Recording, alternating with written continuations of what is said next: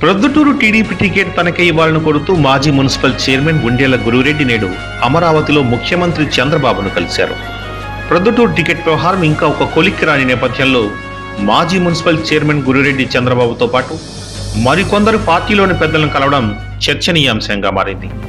తనకు అవకాశం ఇచ్చి ప్రోత్సహించాలని గురురెడ్డి చేసిన విజ్ఞప్తిని పరిశీలించి నిర్ణయం ప్రకటిస్తారని చంద్రబాబు చెప్పినట్టు తెలుస్తోంది.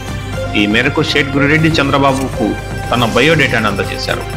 అలాగే పార్టీ అధిష్టానం చెందిన టీడీ జనార్దన్ వివి చౌదరులు కూడా కలిసి తనకు టికెట్ కేటాయింపులో ప్రాధాన్యం ఇవ్వాలని షేట్ గురెడ్డి కోరారు.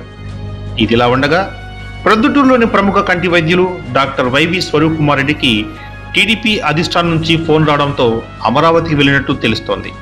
టికెట్ ఆశిస్తున్న ఆశావహంలో డాక్టర్ స్వరూప్ కుమార్ రెడ్డి పేరు కూడా చాలా రోజులుగా వినిపిస్తోంది. ఇటీవల కొందరు దేశం పార్టీకి చెందిన జిల్లా నేతలు కూడా స్వరూప్ కుమార్ రెడ్డి పేరును ప్రతిపాదించారు.